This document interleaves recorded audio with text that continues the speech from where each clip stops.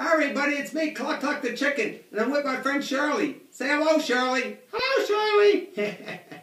hey, Shirley, I got a little story for you. Oh, good, I like stories. Here it goes. the Little Deer by Cluck Cluck the Chicken. See the deer. Does the deer have a little doe? Yeah,